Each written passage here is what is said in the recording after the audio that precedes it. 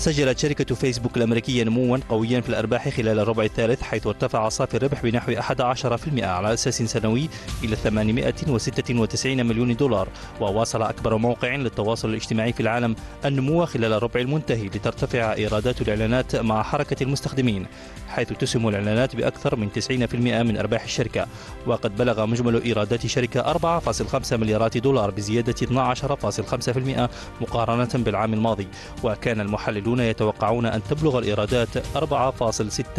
مليار دولار.